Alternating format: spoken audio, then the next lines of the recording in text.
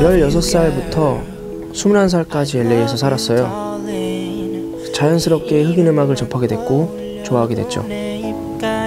제가 기억하는 범키 형 어린 시절 제가 만났을 때부터 음악 얘기, 미국 가수 얘기, 누구 래퍼 얘기 항상 음악, 음악에 좀 많이 미쳐 있었던 것 같아요 형이 음악을 하고 싶다는 막연한 생각에 어, 부모님을 설득시켜서 가방 두 개 들고 그렇게 한국으로 돌아오게 됐고 그렇게 시작을 하게 됐습니다. 쉽진 않았어요. 여러 번 피처링 활동을 하긴 했지만 막막하고 암담했던 시간들이 굉장히 길었고요.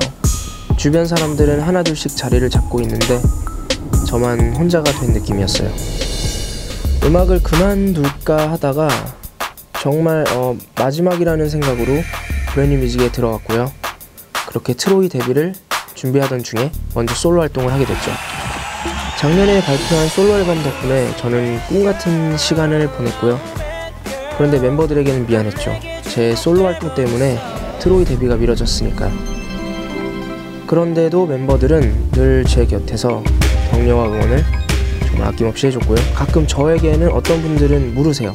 트로이를 굳이 왜 하느냐? 제가 솔로 활동을 하면서 더 많이 느꼈고요. 저의 부족한 점을 멤버들이 채워줄 수 있다는 것. 트로이는 저에게 새로운 무기예요. 다른 거 한번 보여드릴게요.